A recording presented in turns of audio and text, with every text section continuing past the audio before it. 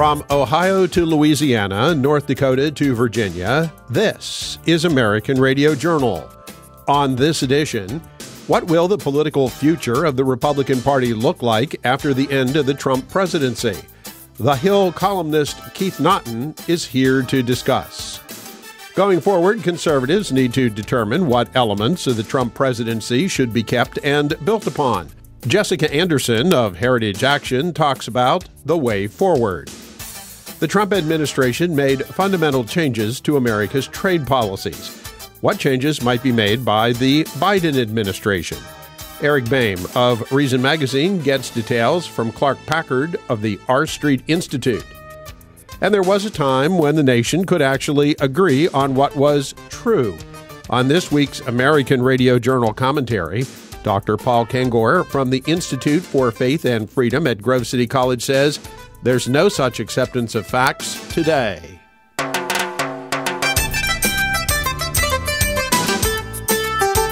I'm Lowman Henry, and welcome to American Radio Journal.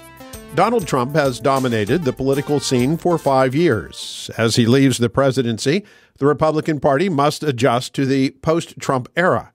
Here to talk about what it might look like is Keith Naughton. Keith is with Silent Majority Strategies and is a columnist for The Hill. Keith, welcome back to American Radio Journal. Keith, we are back in an unfortunately familiar situation where we have impeachment against the president moving through Congress. We've had the very unfortunate riots of a couple of weeks ago. All this leads to the question where does the Republican Party go to from here? So, first of all, your global thoughts on where the Republican Party stands amid all of this. Well, I, I think at this time it's a, a, bit of a low point, but I think that's relatively uh, temporary. I mean, I think people get a little go a little overboard on their political analysis. The impetus behind Trump and his supporters hasn't uh, changed, and in fact, it's reflected in a lot of the electorate. There's still a lot of issue with income inequality and whether the advances and the and the growth in the economy and that success is being shared by everybody, which I think most people would agree it, it has not. And there's a lot of dislike of political correctness and elite control and big tech's control over so much of the economy and so much of the messaging in this country. That's not going away. It's just a matter of of Republicans and even Democrats on the left have attempted to do this of presenting some real alternatives and presenting good candidates that people can support. In terms of a legislative agenda, you touched on income inequality and, of course, Trump populism, largely fueled by that. It's an issue that the left has capitalized on more. What do Republicans need to do from a policy perspective, even though they are a minority now in Congress, to try to recapture the high ground on that issue? Well, I think you've got to look for ways to uh, spread income and spread wealth around without creating a welfare state. People don't want a welfare check. They want to work and they want to get fair pay for uh, their jobs, fair pay for what they do. So finding a way to do that is very important. Uh, we've gone through a period where Republicans have simply said, well, let's just cut taxes and let the chips fall where they may. Well, the chips have ended up falling in, falling into the laps of Wall Street and Silicon Valley. That's not spreading it around. So we've got to find a way to spread that wealth to more people, but not as a welfare check, but maybe as an earned income tax credit or something of that nature. But if you don't do that, you're going to be back right back where you were 10 years ago. Of course, as we move forward, even though he will no longer be president, Donald Trump is going to be a towering figure in the party. What do you see for his future here, Keith? Is he still a viable potential candidate for 2024? I don't think he's a viable potential winner. I think he is a viable potential candidate in that he's got a group of hardcore supporters. And in the nature of the Republican primary system on the presidential level is that you can get a minority of the vote, but as long as it's the largest minority, you can take all the delegates. You know, you can really rack up a big lead on the nomination contest, getting only 30, 32, 35% of the vote, and be far out ahead, even though you don't have uh, a real mandate.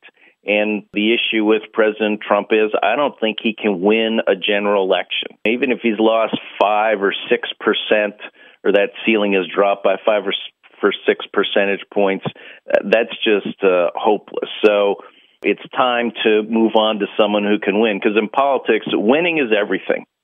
If you don't hold the levers of power, if you're on the outside, that's not heroic or principled. That's just being on the outside and let the opposition go go up to their own mischief. Of course, there will in 2022 be U.S. Senate and the entire House of Representatives up for reelection or election again, Keith. Republicans face a challenging map in the Senate, but in the House, remarkably this past year, Republicans really narrowed the gap. One area where Republicans need to improve their performance are in suburban areas around the country. I'd be interested in your thoughts as to what the party needs to do to try to recapture those votes. Well, I think people need to feel comfortable with Republican candidates and comfortable with the message. I think that the hardcore left on the Democratic Party, they can't help themselves. They're going to push their agenda, which is not supported by a majority of the country, which I do not think is supported in the suburbs. The Republicans have to present a reasonable alternative. So the rhetoric has got to calm down. People are not interested in revolution. People are not interested in bringing what's happened in the uh, the protests in the cities out to the suburbs. So they want things to be nice and calm, but they're looking for an alternative to that progressive agenda, and that's what the Republicans need to provide. Let's talk for a minute about the Democrats. We have President elect Biden about to take the oath of office. Democrats will be in control very narrowly of both houses of Congress. Keith, we're getting mixed messages. The president elect's inaugural theme is unity. On the other hand, we have his party in Congress impeaching Donald Trump and engaging in a substantial amount of vitriolic rhetoric. Where does this leave the Democrats? They seem to be schizophrenic in their messaging. Joe Biden was the sort of anodyne alternative that everyone could get around, uh, rally around, or really rally against Trump. So he's not that big charismatic leader like an Obama or like Trump was for the Republicans or Ronald Reagan. So I think the result is you've got all the Democrats freelancing. You know, they don't have that same loyalty. We have been talking with Keith Naughton, who is with Silent Majority Strategies. He is a columnist for The Hill. Keith, where can our listeners go to read your recent opinion column on where the GOP heads from here, as well as your other writings? You can go to thehill.com. I'm in the opinion section along with a lot of other great writers. Keith Naughton of thehill.com and Silent Majority Strategies. Keith, thanks as always for being here. Thank you. Scott Parkinson from the Club for Growth has the week off. Filling in is Jessica Anderson. Jessica is the executive director of Heritage Action. She's here to talk about issues conservatives must focus on in the post Trump era. Jessica, welcome to American Radio Journal. Jessica, last year, Heritage Action was very successful with a grassroots effort at reaching out to something like five and a half million voters. As we go into 2021, which is not a federal election year, but where we're going to have a lot of policy battles. What do you now do with those voters that you have already reached out to? Well, I think first and foremost, we have to recognize that voters all across the country are really looking for direction about where we go on a policy basis with our federal government. How does America they know and love and have learned to grow up with, how does that succeed how does it wane? What does it look like with federal and state policies that oftentimes try to limit opportunity or, or, or limit economic freedom? And so when we were talking to voters this whole year, we were talking to these half, five and a half million voters across the country, largely swing voters. We were talking about what kind of direction do they want to see for America. And by and large, they reject socialism. They reject the heavy hand of government into their daily lives, and they want to see opportunity not only for themselves, but for their children, for their business. And so I think one, just making sure that we pay special attention as a conservative movement to these voters, not allow them to go back to the left or not to be overcome by the glossy messages of the unions or left leaning organizations that are also active locally. That just has to be kind of in the back of our mind. And then, practically speaking, what we're doing is we want to introduce all of these new voters that we met with. We want to introduce them to the grassroots leaders that are in their community, to Heritage Action Sentinels, and get them plugged in. Carry the conversation forward about what good policy issues we need to fight for, whether that's in opposition to a Democrat controlled House and Senate or it's supporting measures at the local level, whatever that inflection point is, that they know that there are other people in their community that think about the issues the same way they do and want to see opportunity for all. So that's our focus right now. We're going, we're basically taking a second wave or redoubling our efforts to go back to these voters, remind them of the conversations in 2020 and try to get them further plugged in. And my hope is that after this, we'll be able to say that of the 5 million we targeted in the election, a percentage of them stuck around and are now going to be voting for conservative policy issues and involved locally and running for school board and state house legislators and all of that. So I think there's a lot of work to do this year. I think there's a lot we can do to grow the movement through really specific and targeted ways like that. Is this an opportunity, Jessica, for the conservative movement to sort of refocus itself over the last four or five years with the Trump presidency. Obviously, Donald Trump's personality drove the whole policy agenda as well as we move into this sort of post Trump era. Do you see the policy debate as settling more into talking about the particulars of the policy more so than personality as we go forward?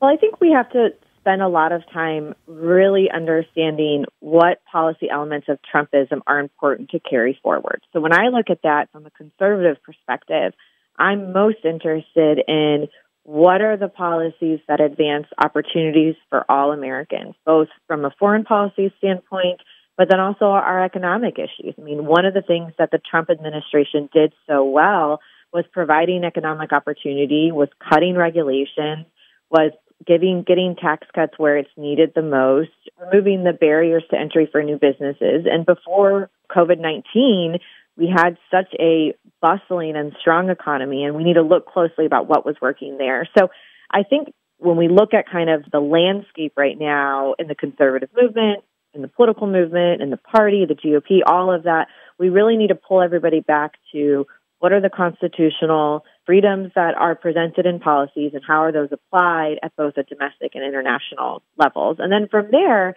one of the things that Donald Trump did so well was he reminded elected officials that you need to fight for the forgotten man and woman, and you need to fight for all voters when it comes to policy decisions that are made in Washington. That spirit of working hard to represent opportunity for everyone across this country, we it would be a shame if that was left behind. That really is what I think needs to go forward and that desire to represent all Americans and, and have policies that help and bring up and lift all boats, all of that really needs to be part of any conversation going forward, regardless of the political things that will be sorted out.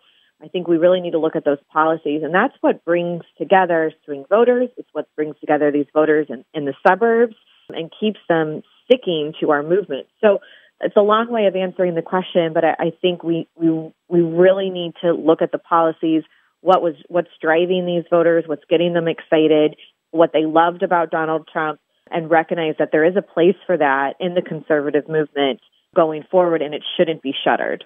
You referenced the suburban areas, Jessica, and that's an area where Republican candidates for Congress in particular have struggled in recent cycles. Given the fact that we have such an evenly divided Congress, 50 50 in the Senate, just a six or seven seat majority for Democrats in the House, these suburban areas, is there a particular role for grassroots advocates in those suburban areas where you have Democrats in swing seats to talk to them on a policy basis and try to pick off some support, if you will, from across the aisle for these policy agenda items that we have in the conservative movement. Yes, absolutely. And I actually think that the kind of fight for the soul of the movement is going to play out in these suburbs. If you look at a a state like Georgia. We were on the ground the day after, or really three days after the general election in November. We started back out knocking on doors. We we uh, ran both a, a phone banks, text message banks, and a door knocking program through the entire special election all the way up until the sixth. We talked to about two million voters across Georgia, but we were focused primarily on five the five main collar counties that are around Atlanta. And in those counties, we, we, we laser focused on a few precincts. And of the five precincts that we knocked doors in, on and spent time doing community organizing with around policy issues that we're talking about, these five precincts all went for the Democrat candidate in the general, and they flipped to the Republican candidate in the specials. We have been talking with Jessica Anderson, who is Executive Director of Heritage Action for America.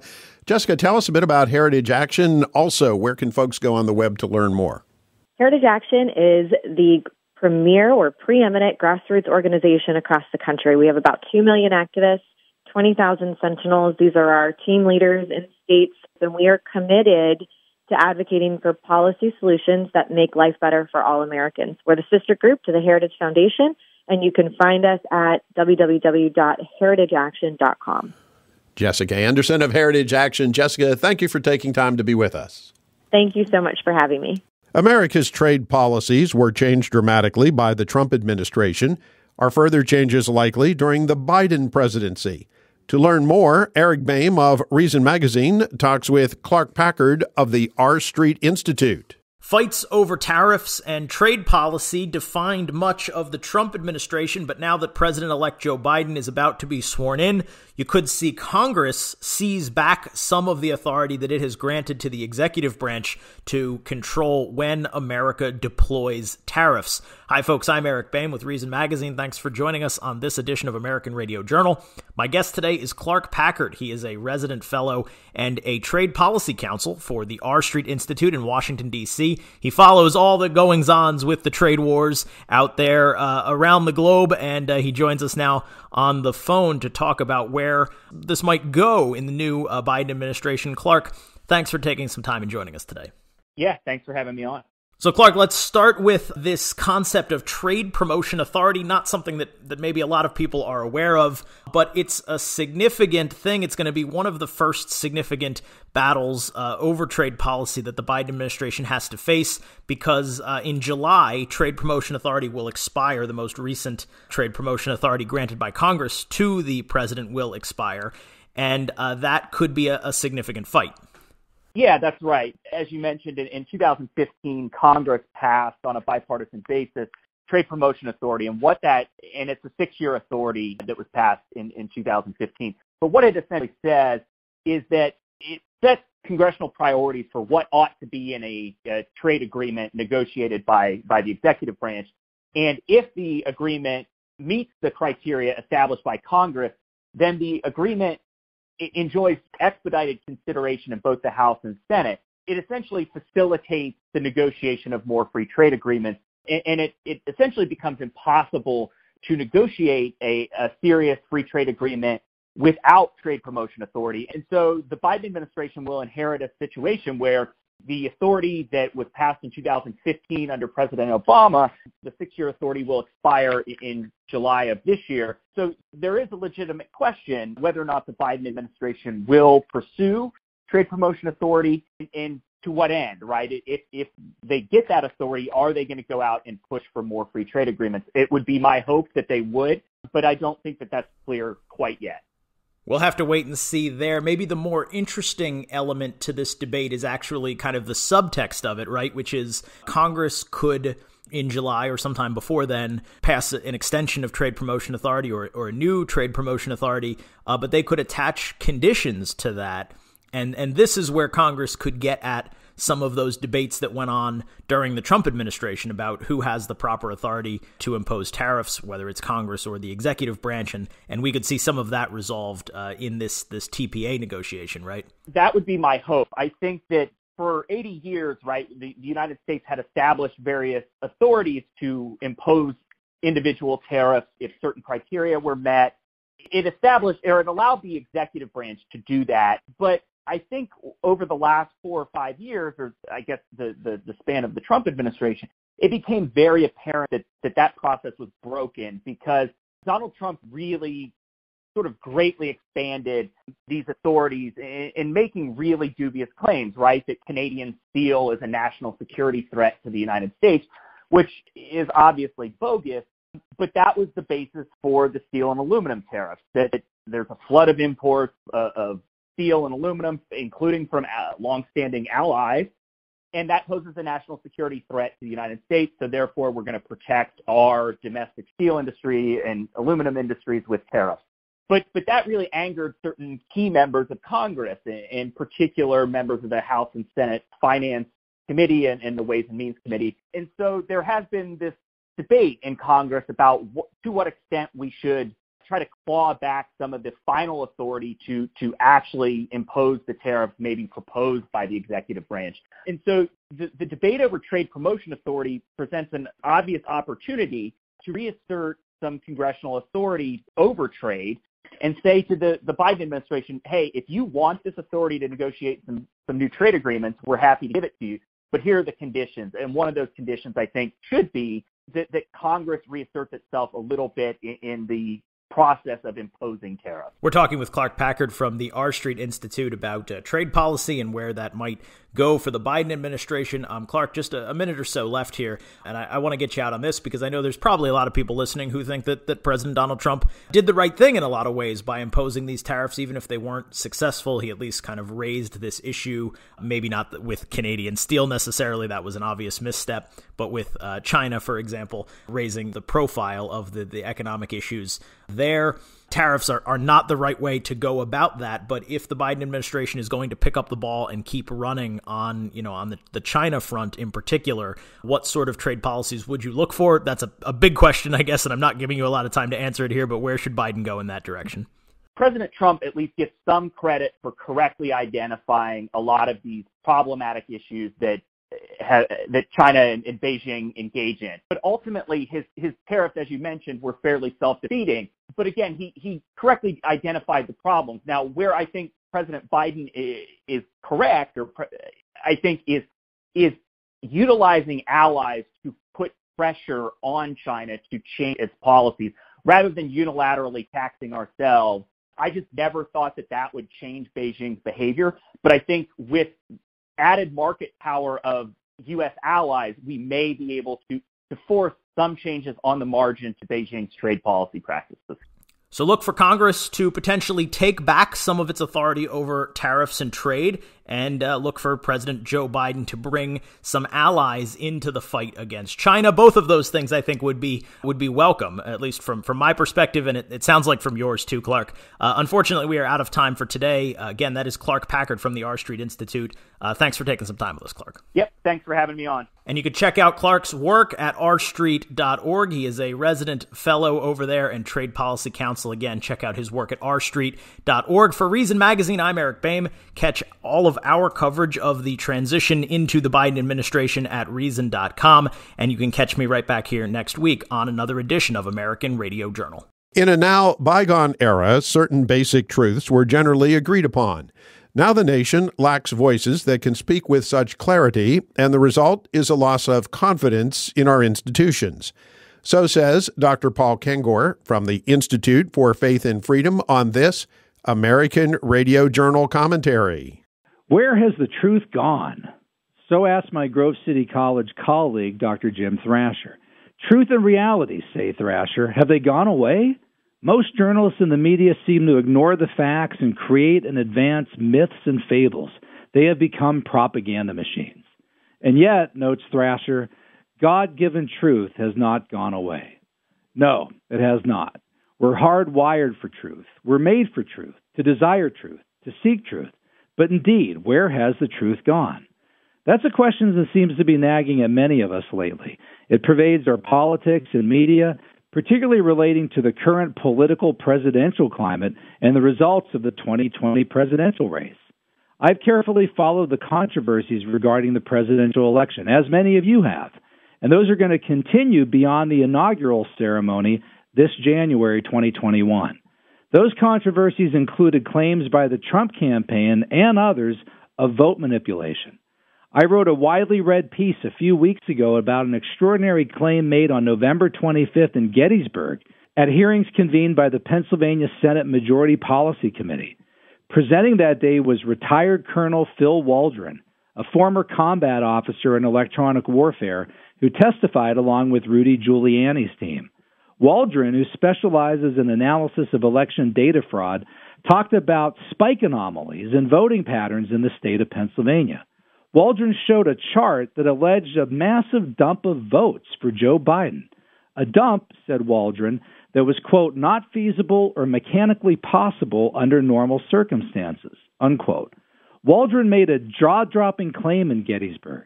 He asserted that over about 90 minutes on November 3rd, a massive batch of votes registered roughly, here we go, 570,000 ballots for Biden and only 3,200 for Trump. Yes, 570,000 for Biden versus 3,200 for Trump. That's 99.4% for Biden versus 0.6% for Trump. When Waldron said this in Gettysburg, the audience gasped in shock. I watched the exchange, and if what Waldron said is true, it would constitute one of the most insidious examples of vote manipulation in the history of American presidential politics. That is, if it's true. I watched Waldron drop that electoral bombshell. What was equally shocking to me was how the press completely ignored it. The only national sources I could find reporting it were Real Clear Politics, Breitbart, and Newsmax TV. The video link that I watched was provided by a conservative source, Right Side Broadcasting Network. CNN never touched it. MSNBC never touched it. The New York Times didn't write about it. I promptly wrote about it. And I asked most sincerely, is this accurate?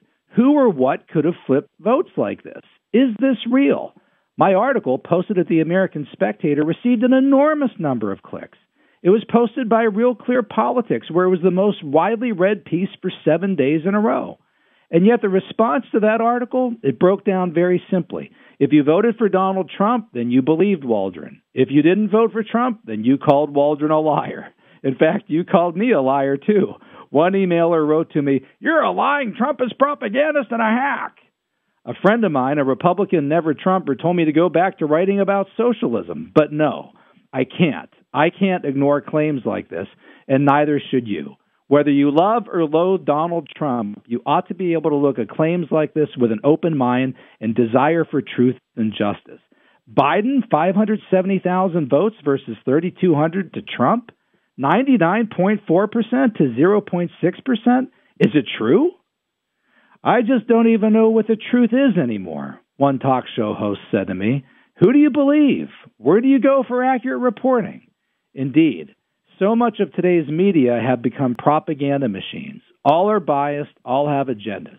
It's harder and harder where to know to get the truth anymore. And if claims like that by Waldron are not answered and resolved, many Americans are going to feel cheated. For American Radio Journal, I'm Paul Kengor.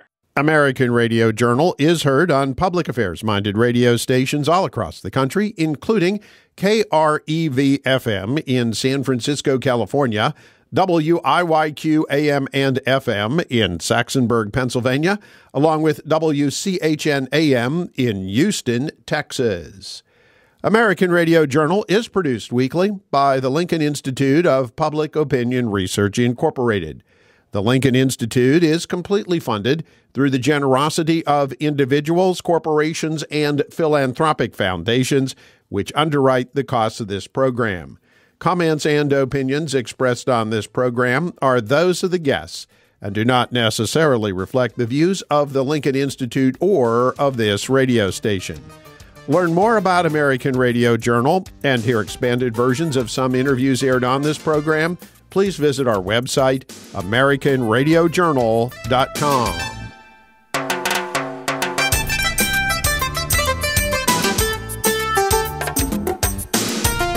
I'm Lowman Henry. Thank you for listening to American Radio Journal. American Radio Journal, lighting the brush fires of freedom.